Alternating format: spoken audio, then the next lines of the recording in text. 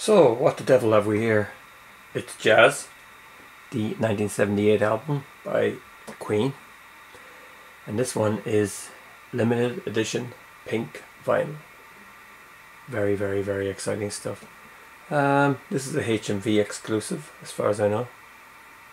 Uh, Jazz, 100 gram heavyweight vinyl, half speed mastered. Look at that. The stuff that dreams are made of.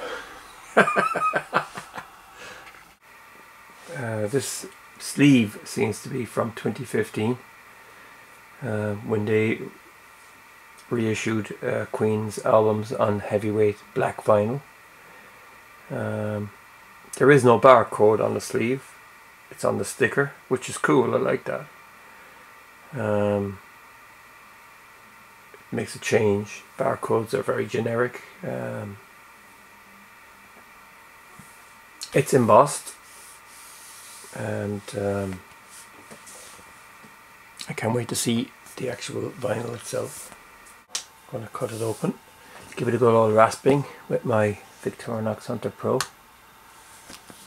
Careful not to cut it to pieces.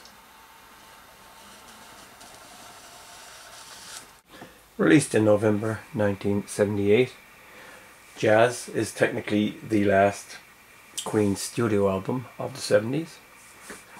Um, it's a gatefold.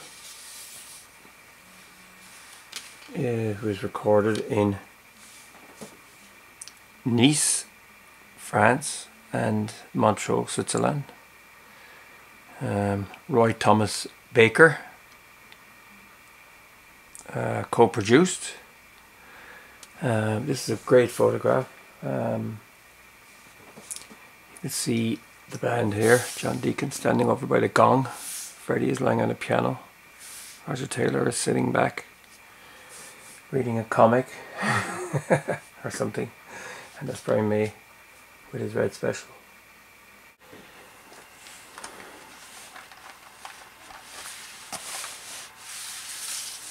Oh, Joanna, look at this.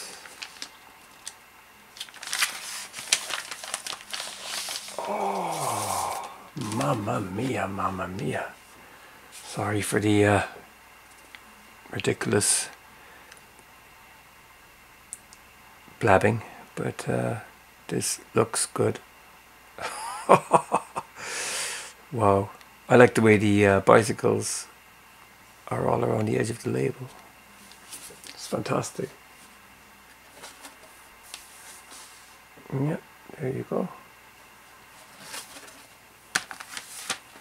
Something else in here. This is the inner sleeve.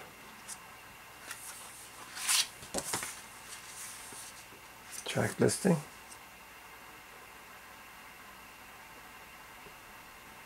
Um, this stuff down here isn't on the original saying Half Speed Master by Mike Showell at Abbey Road.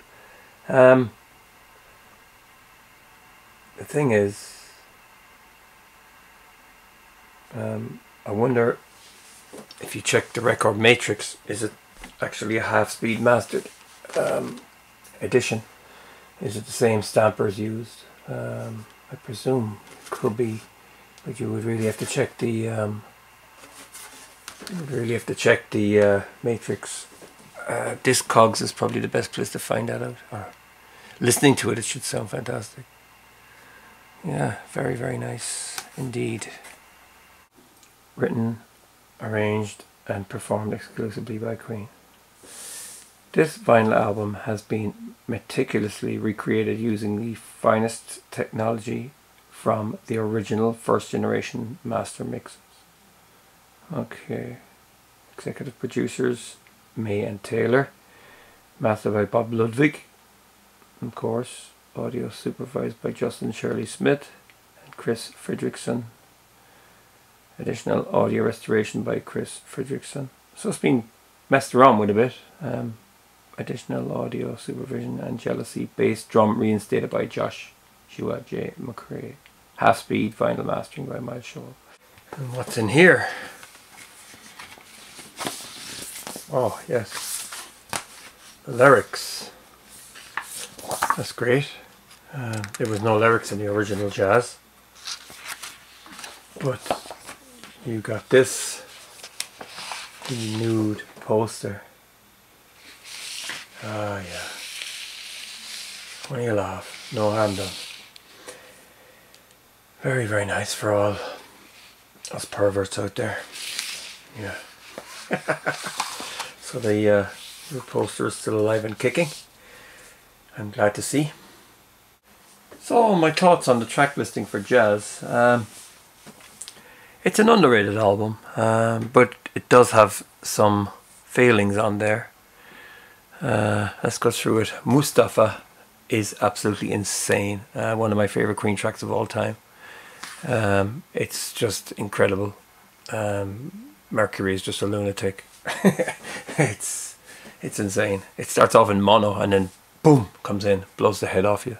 Fat Bottom Girls, uh, the album version is a bit different than the single. Um, it has an ending. Uh, not bad. Uh, it's still a good track. Brian May has a fetish for Fat Bottom Girls. Jealousy, fantastic um, Mercury um, piano ballad. One of my favourite Queen songs. Bicycle Race, hard not to like. It's incredible. Um, if you can't beat them, uh, this one, I'm not mad about it. Um, yeah, I could live without that track, and I think the album could do without it as well. Let Me Entertain You, very, very good. I think that um, the album could have started with this. Would have been a good opener. Then Mustapha, then, you know, move along that way. Fat Bottom Girls would have been good at the end of side one. Yeah, I don't know. You know, it's a long time ago. 41 years. Side two, Dead on Time. Um, pretty big, loud, rocking Queen song. Um, yeah, it's energetic, yeah. In only seven days, it's a lovely Deacon song.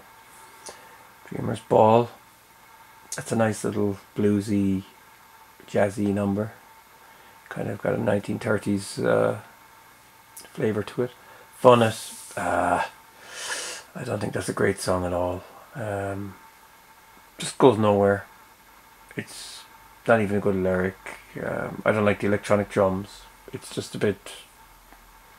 It is a weak track, and I, I I've never really been too fond of it. And the, the more I hear it, the more I don't like it.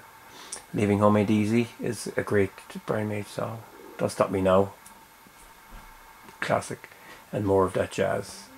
Baffling. Um, I think that it's it would have been much better if it was fast paced, like the live version of We Will Rock You, and the edits at the end are just baffling as well.